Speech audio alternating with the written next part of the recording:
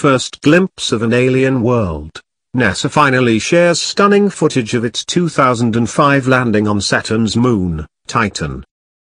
NASA's Huygens probe landed on Saturn's biggest moon Titan in June 2005. During a descent lasting 20 days, the probe sampled Titan's atmosphere. Now the agency has released a video showing what the descent looked like. This is to mark the nearing end of the Cassini spacecraft mission, that carried Huygens to Titan. New footage released by NASA shows exactly what it looks like to land on an alien world.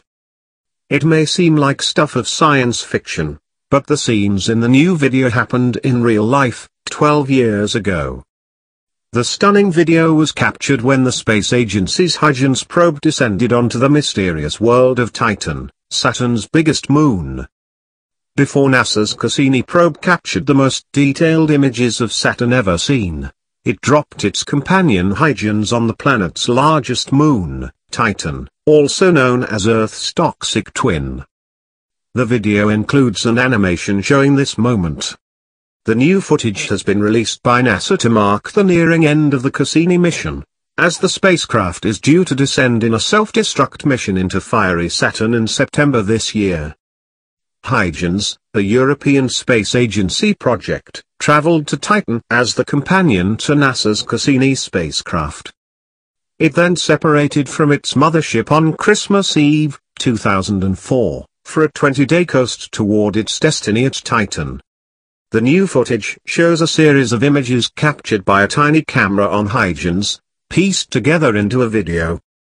The video shows highlands of rugged ice as Huygens headed to the surface with dried-up riverbeds seen from above. Twelve years ago, a small probe touched down on an orangish, alien world in the outer solar system, marking humankind's most distant landing to date, said Jim Green, Director of Planetary Science at NASA. Studying Titan helps us tease out the potential of habitability of this tiny world and better understand the chemistry of the early Earth.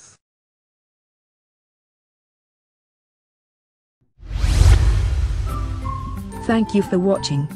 Please subscribe to us on YouTube. If you like donate to us visit home on the page PayPal.